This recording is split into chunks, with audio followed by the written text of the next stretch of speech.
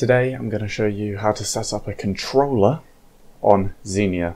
Xenia is an Xbox 360 emulator. Now, for this to work, the way that I've managed to get it to work is to use a controller that's either an Xbox controller or a PlayStation, etc. controller that the computer is tricked into thinking is an Xbox controller. Now, my one already had this built in. I don't know how to set that up myself, but if you've got the Xbox controller, you can continue quite simply.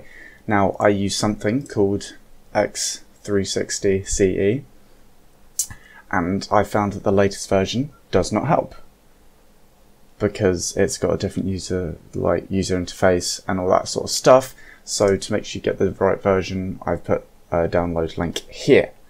Now, all you will need to do is open it up and it should come up with a pop-up that says x input 1 underscore 3 DLL was not found and just press create to fix it. Now, this will come up.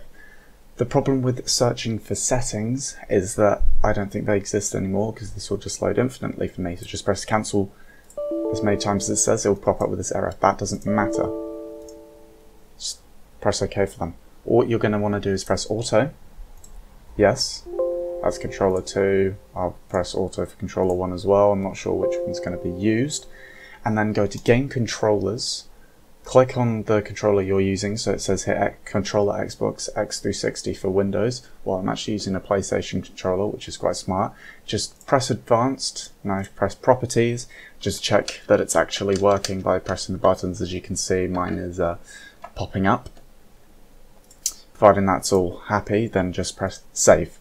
Then you can exit out of this and you should see x input 1 underscore 3 dot dll. You're going to want to rename that to one of just create a copy first, uh, just in case. And you're going to want to rename that to 1 underscore 4. Then you're going to want to copy this new file, move it into your Xenia directory and just paste it then all you need to do is open your game. I'm going to open Fable 2 because that's one of my favourite games, just allow access to that. Just have to wait for it to load. Full screen up.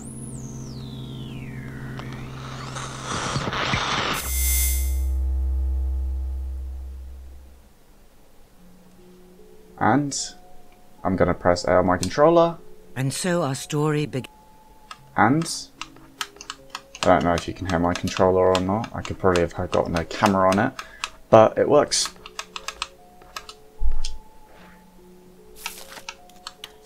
There you go. It's easy as that.